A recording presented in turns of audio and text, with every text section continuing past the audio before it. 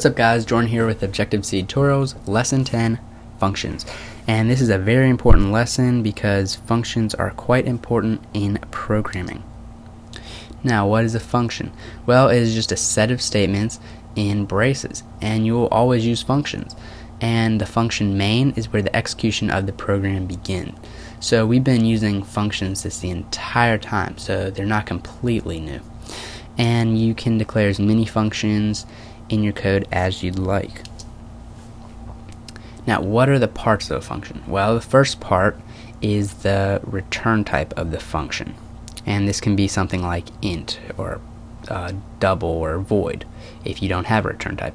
And then you have the name of the function and the arguments of the function and the contents of the function. So the return type. The data type returned by the function and every function can return a type when it is finished. So you could return something like uh, a euro converted into US dollars, so that'd be like a number. Or you can return a status indicator. Now, a status indicator such as zero tells you the function successfully completed all the statements in the function.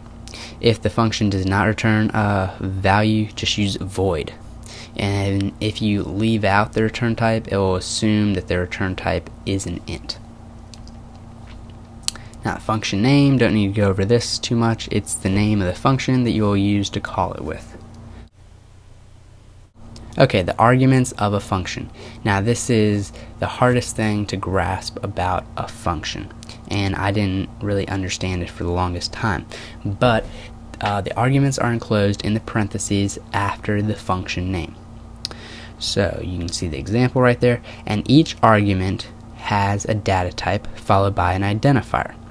And this variable that you declare lets you pass information into the functions. And these data types that you use to declare these uh, new variables can be built-in data types or your own declared data types. And if you have more than one argument, separate them with commas.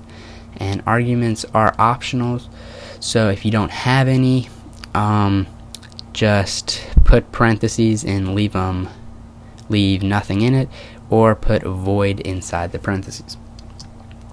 Now, here's how uh, arguments really work.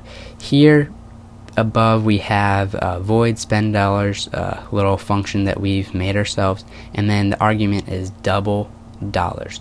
And then inside this function, we have vacation budget dot budget minus equals dollars. Now we go down to main.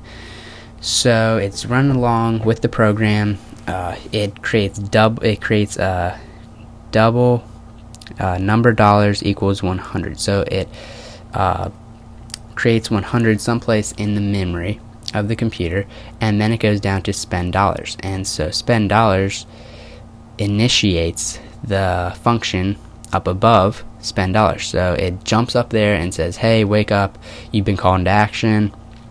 So it starts running the function uh, void spend dollars.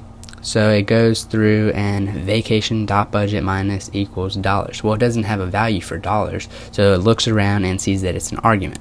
So then it goes back down to where it was called into action in main, and it sees in parentheses it has number dollars. So number dollars will be passed through double dollars into the function void spend dollars. So and since uh, number dollars is 100, it would be vacation dot budget minus equals $100. So dollars is just a copy of number dollars.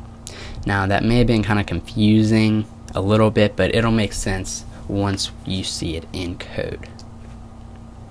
Now some extra facts about functions. Local variables are variables you have declared inside your functions that you've created and whenever you declare a function you must include parentheses even if there are no arguments. The parentheses tell the compiler this is a function. And when a function is called, the arguments are copies of the variables you pass through the arguments. And arguments, trust me, it'll make a whole lot more sense once you see it in code. So let's go into Xcode and create some functions and use arguments.